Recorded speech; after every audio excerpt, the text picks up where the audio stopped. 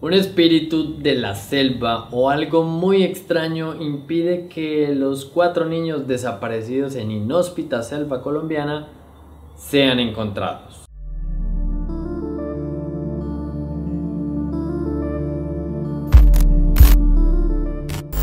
Buenos días, tardes o noches.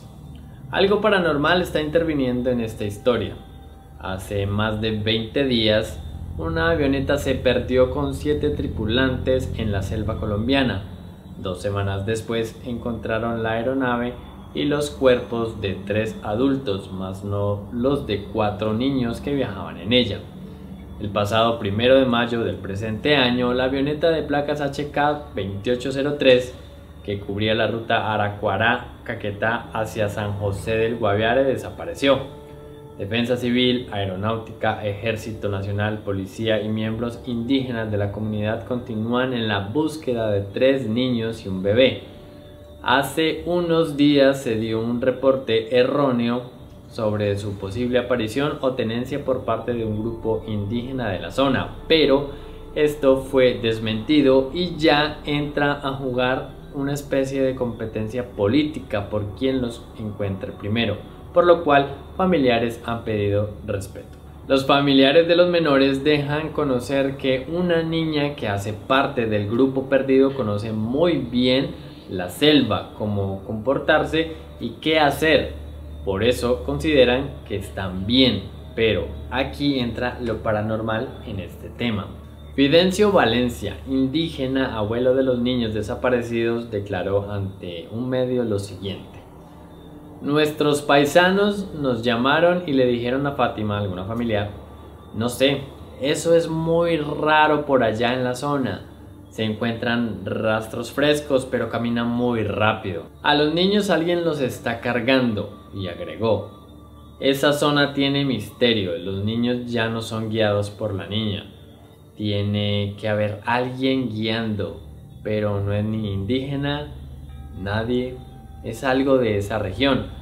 Por eso estoy pidiendo que allá los indígenas de esa región, en la parte tradicional, si conocen de un espíritu, si conocen el idioma, nos ayuden.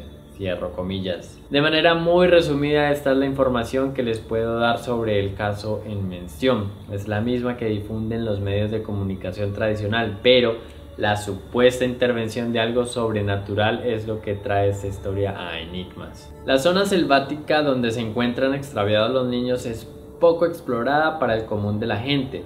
Es de difícil acceso y según narraciones de las personas que están en la búsqueda, lo espeso de la vegetación hace de este lugar un sitio muy oscuro, en donde llueve mucho y es peligroso. Hasta ahora las pistas que se encuentran como huellas, ropa y demás cosas indican que los menores se están moviendo y demasiado rápido.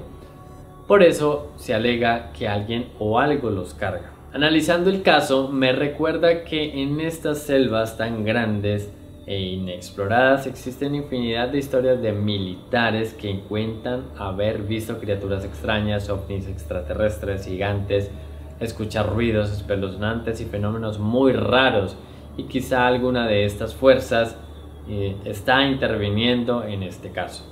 Lo que no entiendo es si intervienen para ayudar y guiar a los niños buscando su bienestar y que sean encontrados o todo lo contrario, alejándolos de los rescatistas que son más de 200 personas y sumergiéndolos en la oscuridad de la selva. Acá les dejo links de algunas historias de militares en la selva Ahora, me gustaría saber con esta nueva información usted qué opina al respecto.